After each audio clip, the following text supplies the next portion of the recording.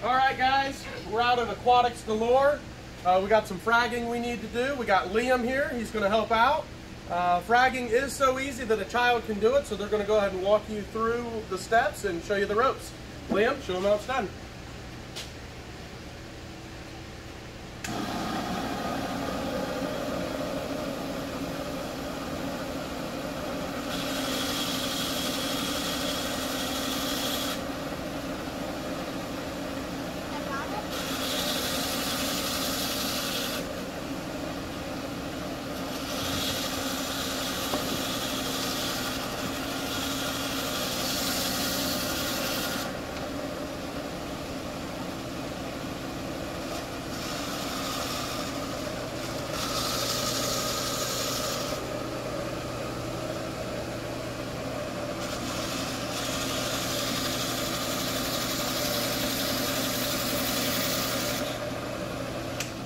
All right, guys, this is a Duncan coral, so I don't know how close we can get in here, but sometimes when you cut the head off, these little polyps will start to sprout and polyp out, and then those will grow new heads.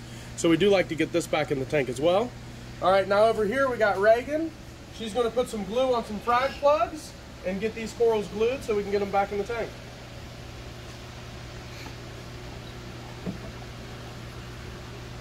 Squeeze a bunch on there. Don't worry about be, being sparing. Perfect. Yep, and you just set it just like that. Try not to get your fingers in the glue.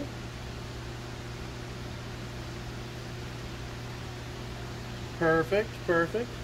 Look at that. That is seated perfect. Good job.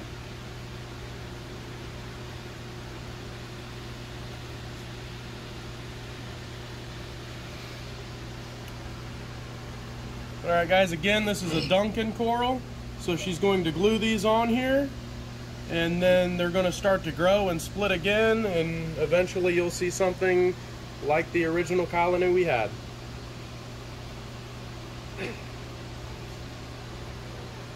Reagan's doing a good job gluing here. Good job not wearing it all. That is uh, one of the biggest tricks of the fragging is getting more glue on the plug than your fingers. Sounds silly, but it can go the opposite way. This is a good method here too, getting a couple ready with glue before and that way it speeds the process up a little bit. Now this coral she's gluing down, we did uh, cut the other head off and like I said that other head could eventually begin to sprout.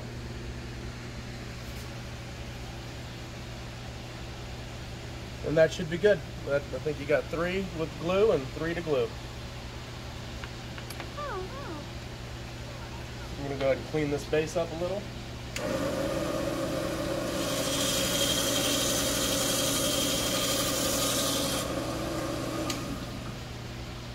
All right, and then you wanna put this one on there.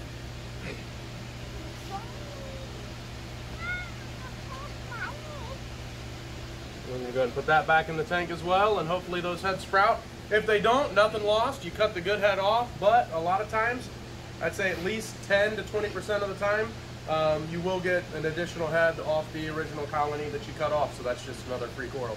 So thanks for watching, guys. And remember, uh, don't be scared of fragging. It's so easy, a child can do it.